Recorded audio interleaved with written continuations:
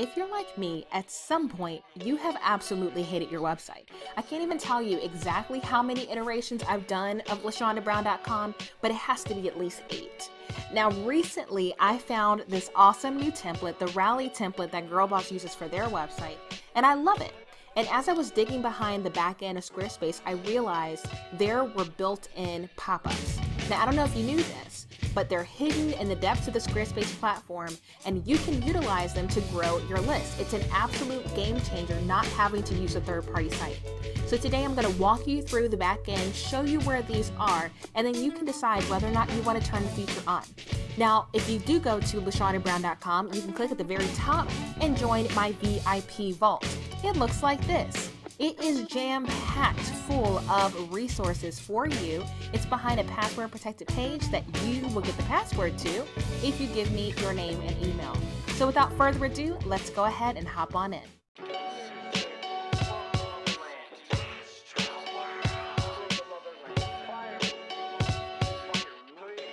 So the first thing you want to do is obviously log in so you see the back end of Squarespace. And on the left hand side, you'll see pages, design, commerce, analytics, comments, and settings. Where we went ahead is the settings. Now you would think something like this would be under design, but it's actually not. It has been hidden underneath website and click on marketing. When you click on marketing, you will see your options to help market your website better. So your share buttons, pin it buttons, Facebook page, Google AdWords credit, and promotional pop-ups. So that's what we're going to talk about today. So if you go ahead and click on that, you're going to see this is what my pop-up looks like.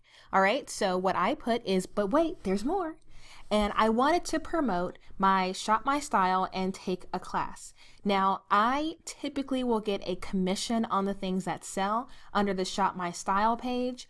And if you take a class, it's paying me directly. So these are ways that my free visitors can quickly be converted into paying customers of some sort. So I absolutely love this pop up. Now, here's the thing though I have got some cover pages and some landing pages that I've created on the back end of my site. So what I didn't want to happen was ruin the illusion of a cover page or a landing page with a pop-up. You know, I really wanted to be specific about when that doggone pop up was going to show up. So, in order for you to edit that, you want to look at your timing and frequency. And so this is super important. I think this is a great place to start. You do not want to annoy people with the pop-ups. You want the pop-ups to seem like value added. So you've got to be very specific about how often people see these things. So I say once a week. You can click on here under frequency and see you could say the next day, in two weeks, 30 days, or never. Now, I definitely would not select never so that if someone doesn't click on it the very first time, they never see it again.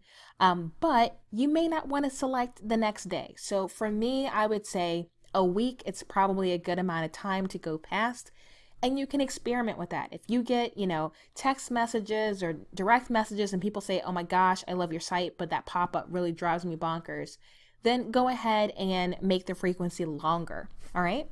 So that's an option that you have. Now, this is something that I really love about what they did. So you can automatically say show on a timer. So immediately when someone goes to your site, they see it or after 5, 10, or 30 seconds. Now, I did not want that timer on because of my cover pages and my landing pages. Because if it was simply based on the amount of time, then more than likely I would get a pop up on top of a landing page, which would look super tacky and confusing. Because the purpose of a landing page or a cover page is to give people one call to action. If they're on that page and then all of a sudden they've got, you know, one or two more things that they could be doing, it gets confusing and your conversions will go down. So what I selected was show on scroll. The reason why I did that is because you don't scroll on a cover page or a landing page.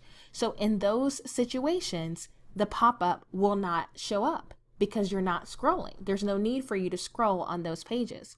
So what it does is it does not show the pop-up unless you scroll 50% down on the page you're looking at. So what will happen is people will be perusing my content, preferably reading a blog post, and about halfway down the blog post, but wait, there's more, the pop-up comes up. So that's what I personally liked, but you can set this to whatever works for you. Now, if you choose to reset your settings, you can go ahead and just hit the reset button.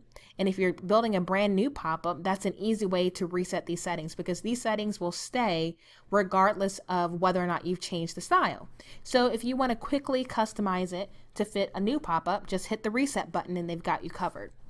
Now, one thing that I really do love, and you can see it in this example, is there's no branding on it. There's no brought to you by SumoMe or supported by Privy or whatever. So what's really nice is it helps you to look more professional because there's no branding. And typically these third-party sites require you to pay to remove their branding. So Squarespace building this in is saving you money simply because they're not sticking powered by Squarespace on your pop-up. So I'm really appreciative of that. And I think that's something to consider if you want to use pop-ups in your business. Also, you have the option of whether or not to just do buttons or, and that's under your action, you can do buttons or you can say sign up for a newsletter. So what's great about this is I preferred the buttons. I wanted to send people to other pages, so I could select that. But if I wanted to collect emails, just like the newsletter um, plugin in the website, um, in your Squarespace website, you can connect it to MailChimp or a Google Drive spreadsheet. Now, if you do Google Drive, then obviously you'll have to go through the, the hoops of connecting it to Zapier and whatever email marketing service you use. But if you simply put click a button, then you could send someone wherever they needed to go. You could send them to a ConvertKit landing page. You could send them to a ConvertKit form. So instead of you having to use Zapier to connect all those things, having the buttons allows you to have fewer um, integrations on your site, thus making it quicker. So I really like that they thought that through. So let's look at this. So obviously you have your content, you can put a headline in the body, you can add links in here. So that's kind of similar to your other content blocks on the site. And then you can choose the style. Now I chose to keep it black and white, but as you can see, you can get specific down to your fonts, your body, your background. You could do color behind the text. I like to keep things simple, but you can change that. You can change the shape of your buttons. I mean, this really does allow you a lot of different options. And the, the fun thing I like is it lets you choose the animation. You can decide whether you want it to fade in or whether you want it to scale up or whether you want it to slide in.